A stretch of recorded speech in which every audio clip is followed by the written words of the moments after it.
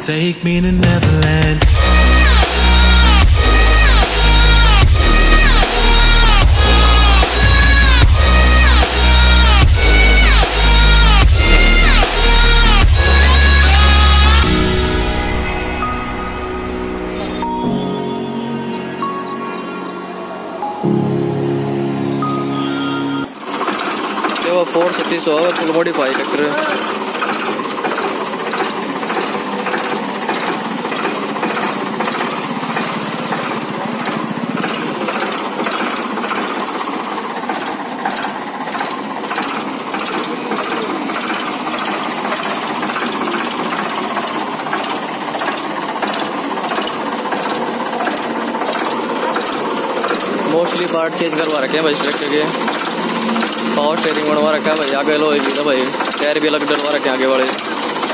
पीछे टायर के रिम भी चेंज है भाई इसमें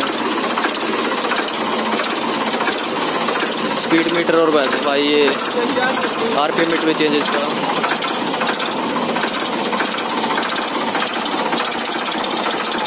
पूरा नया पेंट करवा रखा है ये